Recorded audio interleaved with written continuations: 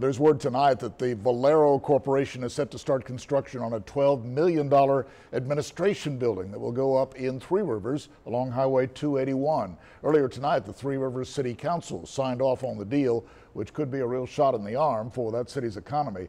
Our Taylor Adonis has more on the story tonight. Taylor?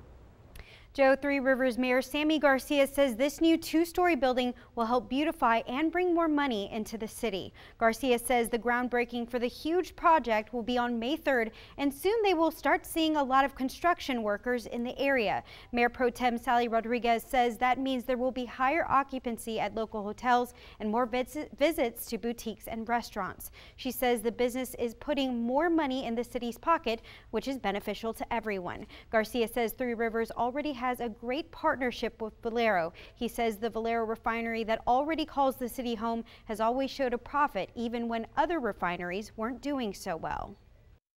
By doing the $12 million building, it shows uh, the citizens of Three Rivers that they're vested in, in uh, Three Rivers and that they're here for the long run.